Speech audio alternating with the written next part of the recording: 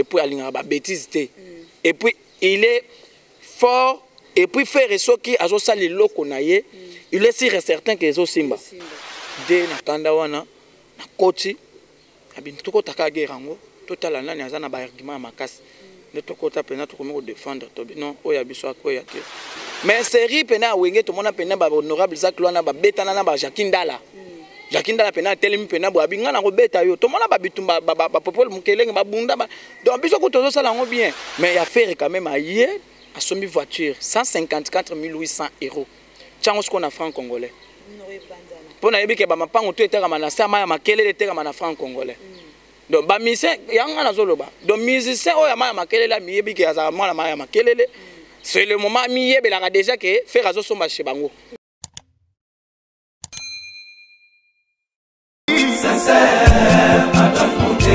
Claude Lukeba Kwenu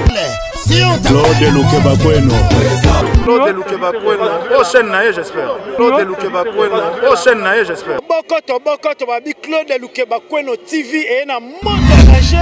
bagolois bagoloise nyonso oyo oh, vraiment bolingaka boyoka actualité ya misien na bino bolingaka mingi frère egola jésus de nyonso epuis actualité musicale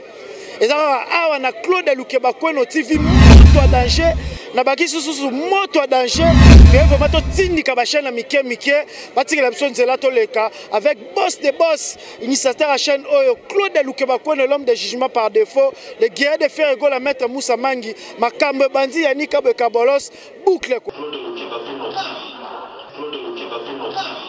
makauzi yeyo azosenga na bino bosabone massivement na site oyo claude lukeba kono jugement par défaut oyo mark ausa aza koloba awa yeyo awa ya ndenge adessin anime na yango sikoyo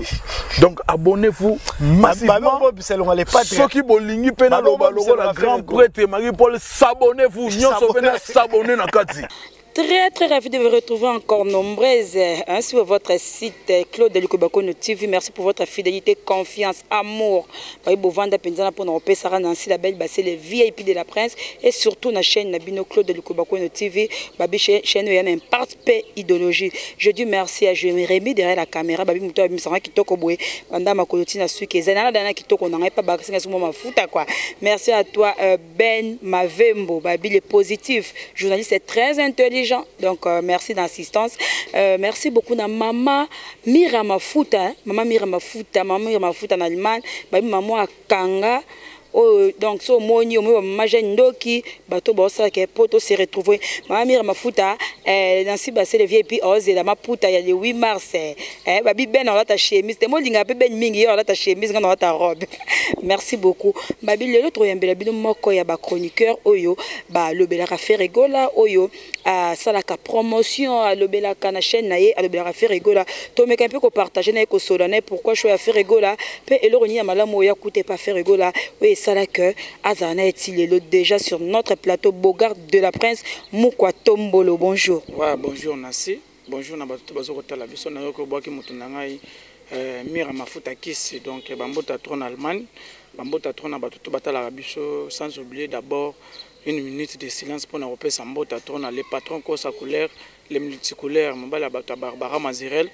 oyo aza na direct des états-unis d'amérique azokolanda ngai nabosani te dadi mavungu vungule vungule wana vie na ngai ya palais kua donc bambota trop tout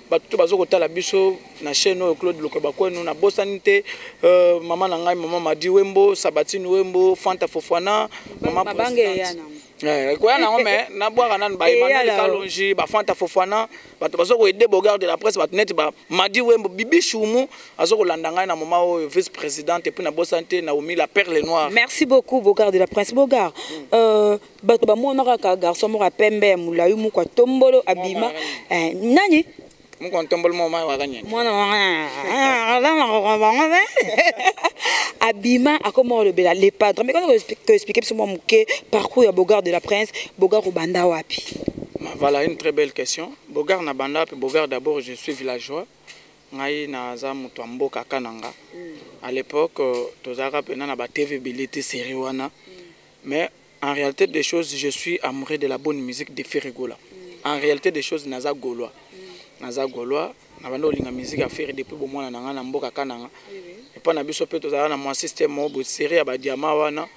mwa ba miba ba bilo mwa ndenge wana c'est à dire mwa tv ezalaki mpena na bamboka wana tozalaki mpena na ba 5 tv mm. sikoyo na 5 tv wana musique na banda olinga ezalaki a toujours musique ya Ferre mm. botyelanga ka Ferre meme papa nanga mama nanga ba véritable bana Ferre ya kosakana te sikoyo à travers mpe baboti na ngai babanda olinga fere ngai mpe na baben wana nazo ah, ah, il chante bien azoyemba bien donc euh, na banda olinga sikoyo naye kokóma sikoyo molinga ya miziki ya fere gola après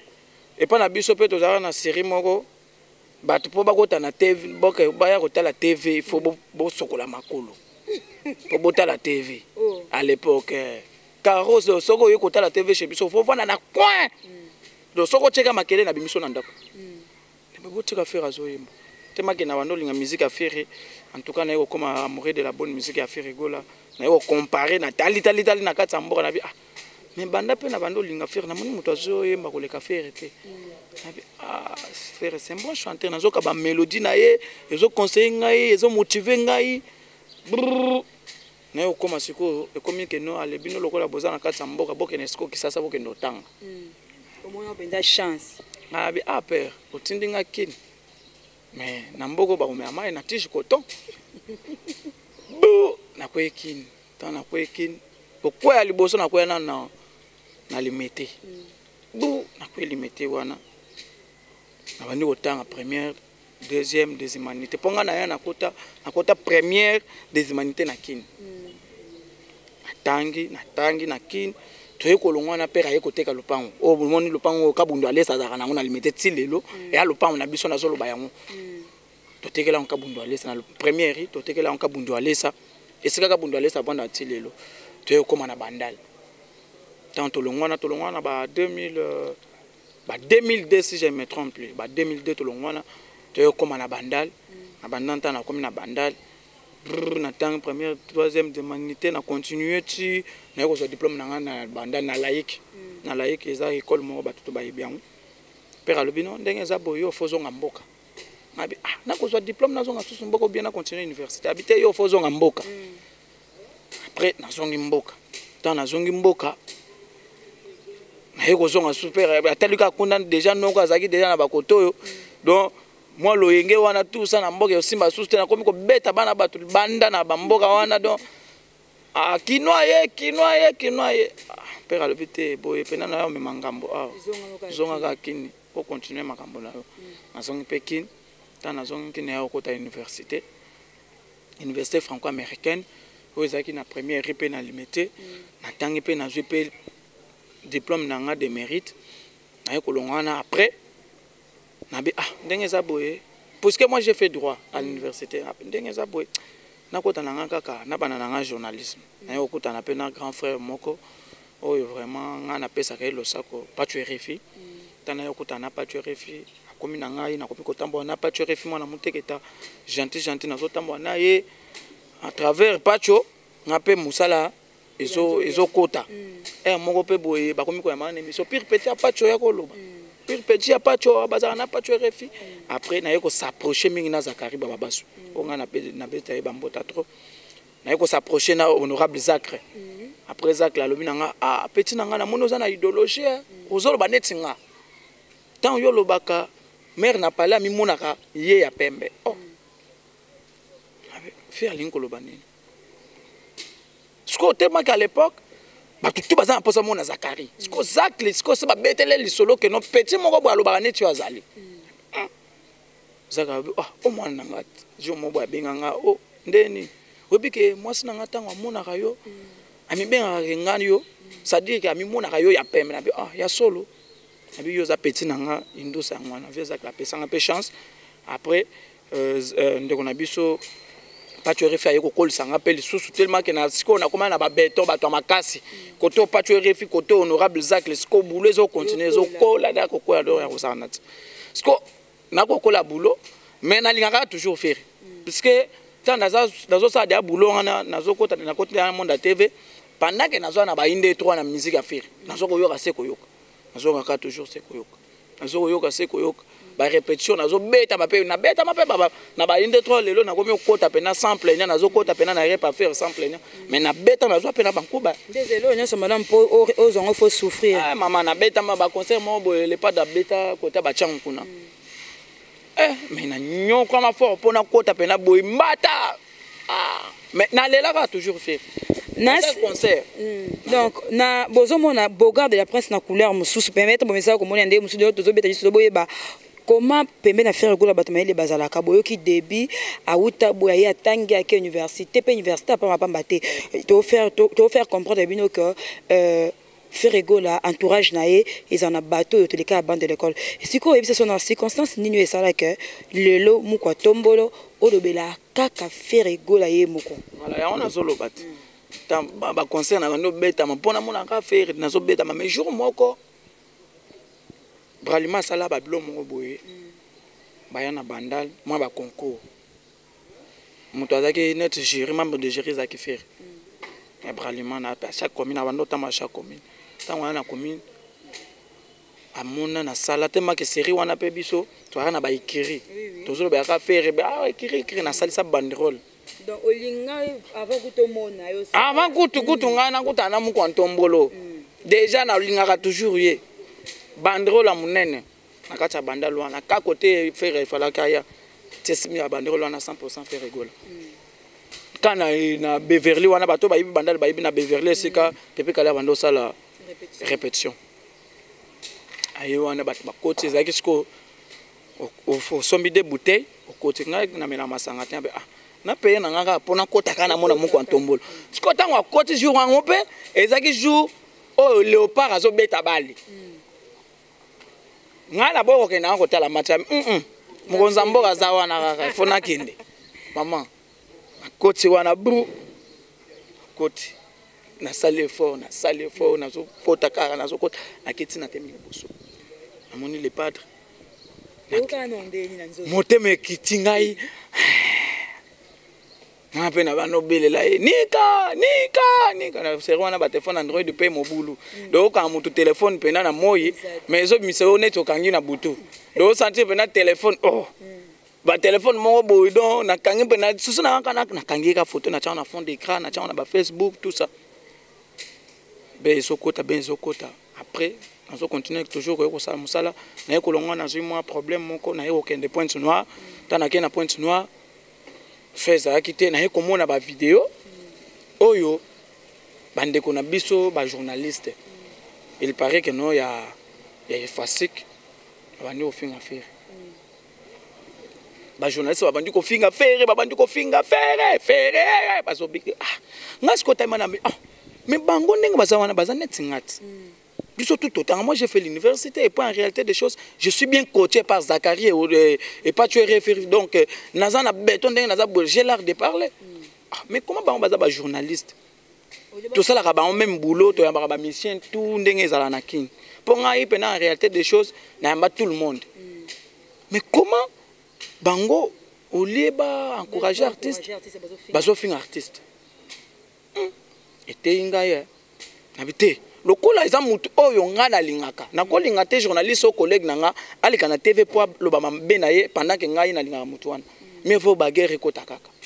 nalongwa na pointe noire na ye kin eh, nalongwa mpe na pointe noire brazzaville na ye kin mm. ta na ye kin nasenga chantal bola nasala na télévision ya chantal mm. chantal bola mpo eswa nde nini ngai fo nasalaka video moko ata video moko kaka ekota epai na yo nalobela kaka motu na ngai abino ah, bogarde la presse napesi bambota trop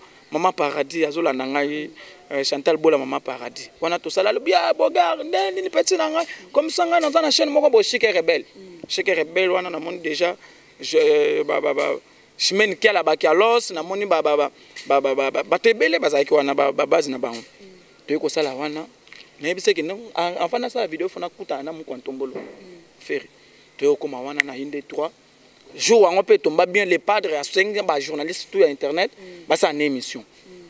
na profita mpe mbala moko wana natie mpe micro nabandi kotuna ye baquestion ye mpe azotala mpe atitila bia ce monsieur mm. il est intelligent tout ça après aye kozwa diplôme de mérite toye koaccompagne ye wana naye okutana mpe na yane kabwe na bamoma ya badiplôme de mérite après nabi te ndenge eza boye lokola bakomi kofinga fere moto oyo ngai nalingaka ye mingi mm. fere ntango na balanse natali na bato bayembaka mm. moto aleki fere aza te na génération na ye mm. epuis natali biographie ya fere banda banda musique na rata te epuis aza mbiaka ayebi koyemba epuis selon bahistoire tozofanda na bamikolo bazotalisa biso ke fere bobosaka na ye te fere aza boyeboye na bi ah, mais motu oyo ifo to protege ye comment bacollege na nga bajournaliste bazofinga ye nde na kanda wana nakoti abimi tokota kaka guerre yango totala nani aza na baargument ya makasi nde tokota mpenza tokomi kodefendre to bino oyo ya biso akweya te mieux vaut todefendre oyo ya biso ok boganda ya prince différence nini oyo omonaka fere aza nango peut-être na bandeko ne bamusicien ya afrique to ya congo différence d'abord premièrement fere il est charismatique mm. fere c'est un homme euh, sincère mm. pendant ke ngai na, na s'approcha na ye je vois que c'est un homme noble puisque Soki otali Ferre, Ferre alingaka d'abord kofinga te. Bato bazalaka nzinga nzinga Ferre alingaka kofinga te. Ferre respecte tout le monde. Mm. Tant natali ba caractère Ferre aza na yango na musique congolaise soki ke bato ya bongo baza ebele mbe lelo mboka évoluer. Okay. Différence d'abord aza charisme et puis alingaka ba bêtises te. Mm. Et puis il est fort et puis ferre soki azosala eloko na ye il est sûr et certain que ezosimba donc azosala eloko moko bo fond de, mon, de, de, de son cœur que non eloko oyo nazosala yango ezosimba mais ton artiste obimisa nyonso wana osala nyonso wana ntango bato balobaka mabe eleki na télévision azoloba mabe mpo na artiste tant que yo oza moto otangi classe mpe mosala oyo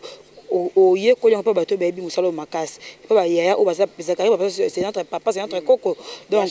aa mpenza mokolo ntango omona bajournaliste olie ya kopesa message oyo eza vrai olie ya kopesa formation oyo eza vrai mais ata artiste asali mosala malamu baoleka kaka toujours mpo na koloba koluka kokitisa ye koluka koba mabe na ye tant que moto otangi euh, esalaka ndenge nini to décision nini oyo euh,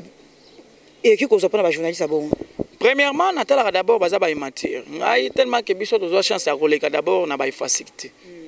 Mais toza na ba manière moko boye oyo towuta na bango na ba palais na biso. Bato neti ba fere ata ofingi lelo par rapport ya connaissance oyo aza na yango. Je ne pense pas que ko déranger. Mais ndenge ezalaka kaka tomona meme na Bible.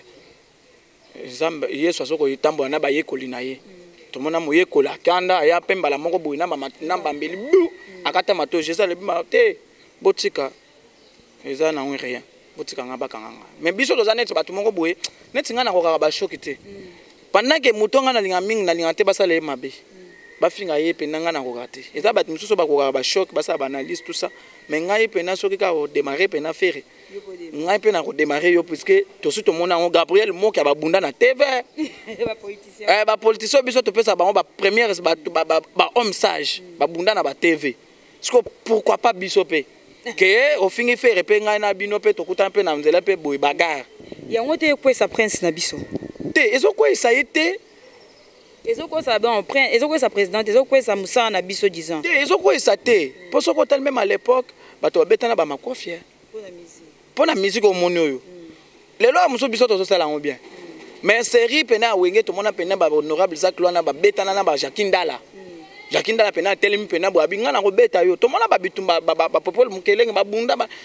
donc biso kutu tozosala yango bien mais bango babanda osala yango babanda ofinga baartiste te entre arando ya bango na bango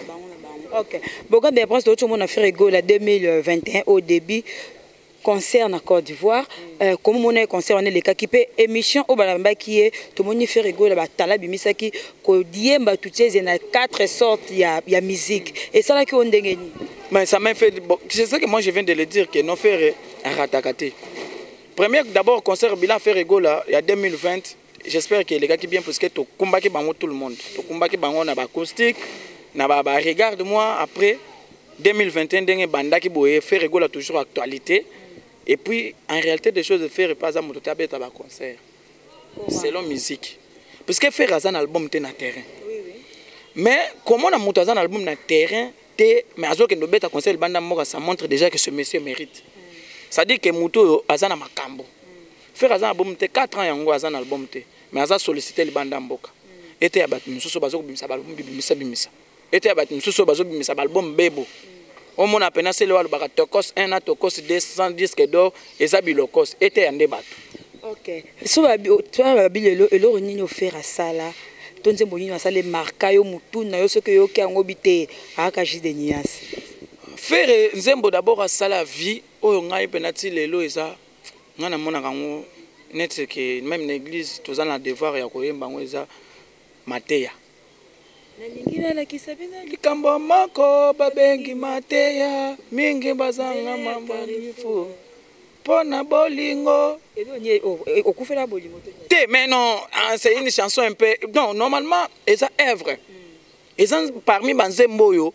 ti lelo meme soki peut-être bakoma yango na babible bakoma yango parce que eza nzembo moko ezo édifie na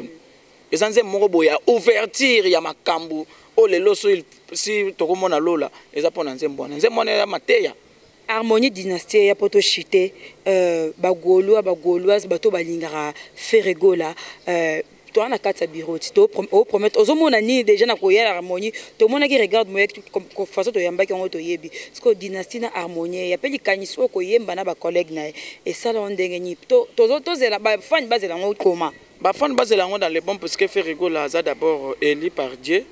Euh, ba fans bazala calme, Ferre Gola ndenge aza wana atikala ko décevoir bango te. Tout ce que Ferre touche, ça, ça devient du l'or. Pourquoi nga na bengaka ye Muku Antombolo? Aza supérieur. Muku Antombolo na sande bongo. Euh, aza likolo. Muku Antombolo mo mayi wakani na. C'est-à-dire que supérieur moto asokola déjà. Ah, okay. Eh, moto moko asokwama déjà.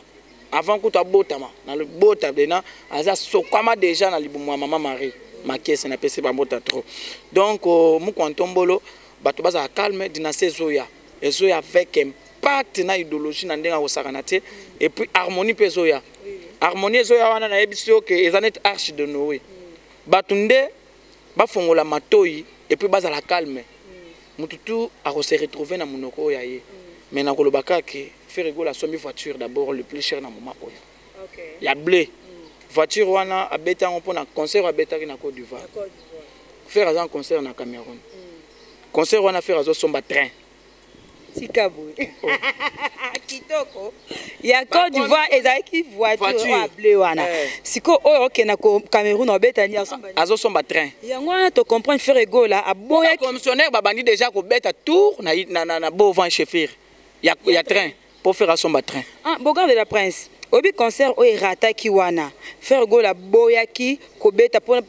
propos na producteur akokisa ye makambo te c'est que ferre gola mpenza cache na ye fo ozala eh, kasi yango ngai nayebisaki bango ke ferre mikolo oyo aza patron epuis aye koreverse bacope ebele na musique hmm. nasi nazoyebisa yo bato ya baanalyse basalaki baanalyse bebo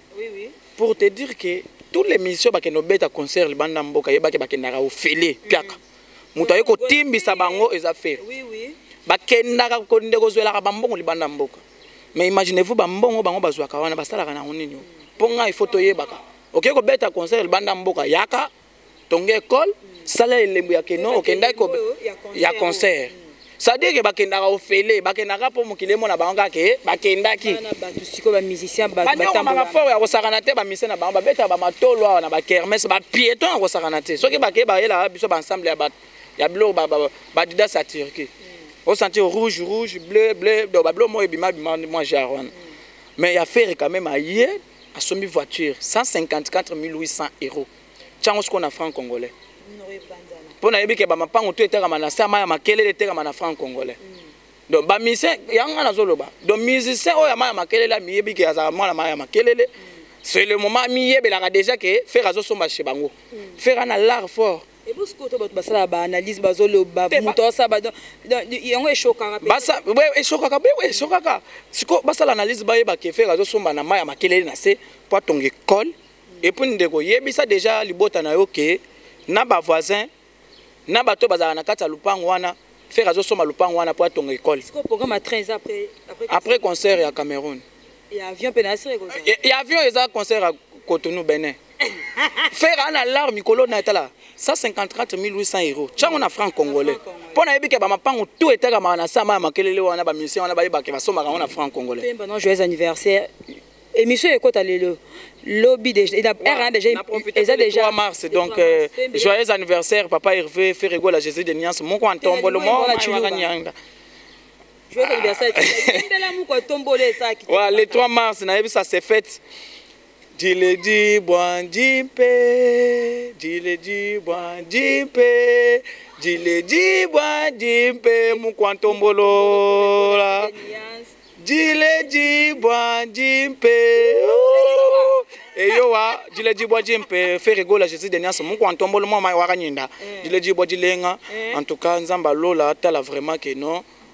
udi ni malu denge udi abu udi muje mu don udi ni malu mapite ye yowa udi ni malu mapite fer wetu donc komona mwa kesa suka ka poto kabwana komona fer gola 44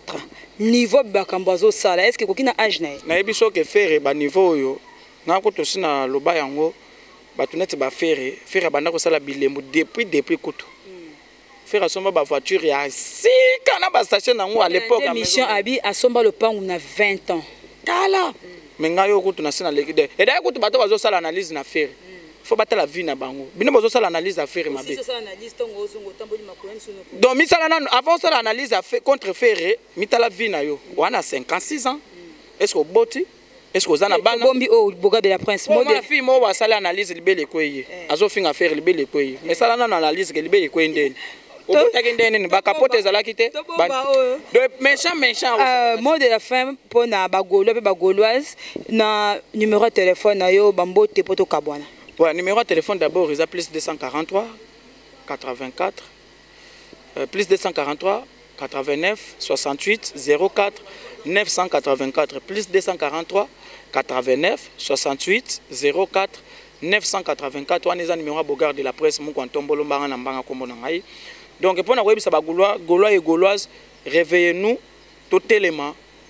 pour euh, promouvoir l'artiste qui est Ferre Gola oyo nga na bengaka ye Minembwe Ferre aza neti Minembwe yiba no ba kolbati yiba no ba diamant yiba no ba millennium ba cuivre ba or mais minembo ekokende te omona bato ya est batemba bi minembo ekokende te minembo ese fere egola moko ntombolo mwa mai wakaninda richesse likolo ya barichesse ya mboka donc euh, Pona ko promouvoir artiste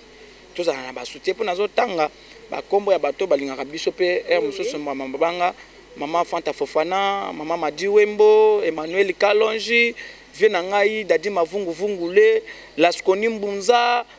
ya Edo Muzamba intouchable ayant droit